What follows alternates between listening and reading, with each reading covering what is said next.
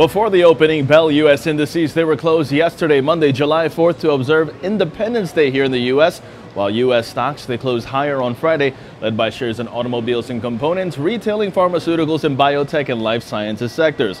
On the economic docket, the Markit U.S. manufacturing PMI rising to 51.3 in June and a final estimation from 50.7 the previous month, while construction spending fell by 0.8% in May and also ISM manufacturing increasing to 53.2 in June. Advancers ahead of decliners, 58% of S&P 500 constituents trading higher on Friday. Now, after the market closed, Tesla announcing that second quarter production was up 20% month over month to 18,345 vehicles, and second quarter weekly production was less than 2,000 vehicles. Sysco also announcing the acquisition of Supplies on the Fly, an innovative e-commerce platform providing restaurant supplies and equipment exclusively to the company's customers. Prices of this acquisition not disclosed, and Halliburton announcing that Mark McCollum will resume his role as company CFO.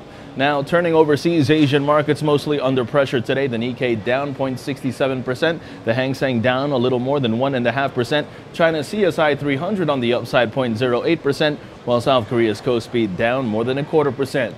European markets are trading lower except the FTSE 100, supported by the Bank of England announcement to reduce the UK counter-cyclical capital buffer rate from half a percent to 0%.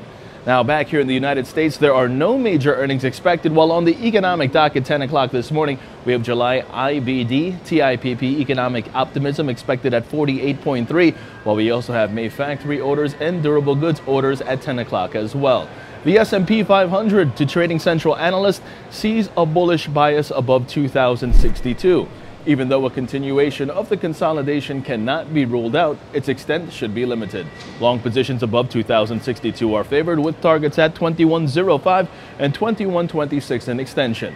Moving on, the Nasdaq sees the bias remain bullish, preferring long positions above 4345, and the Dow Jones sees limited upside, preferring long positions above 17,580.